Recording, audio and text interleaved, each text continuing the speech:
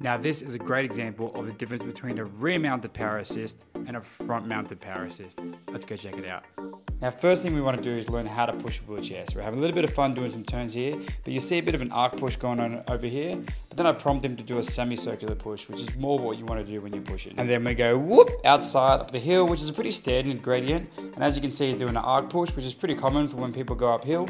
But now we're using a smart drive, which is a little motor that sits in the back, which basically just pushes you up the hill, but then the wheelchair user still needs to steer. So by holding the left wheel over here, we get a steer going on there. So the motor does all the heavy lifting, and then the user just needs to point it in the right direction.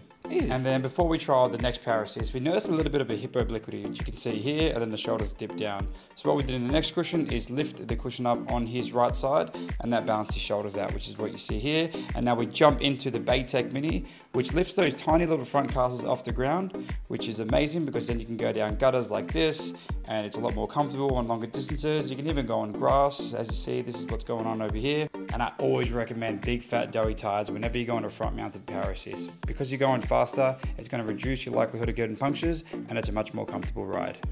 And over here, I want to demonstrate what happens if you don't pop a wheelie when you're trying to get over curbs. Those tiny front casters, they get stuck and they can knock you out of your chair.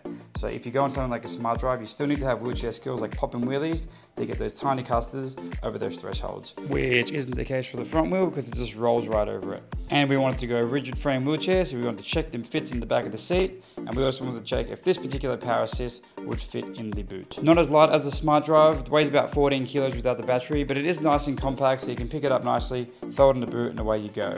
Now how front wheels mount to the chair is different across all the brands, so it's one thing you really want to check to make sure that the client can do independently. In this case we can, so we've got a great outcome.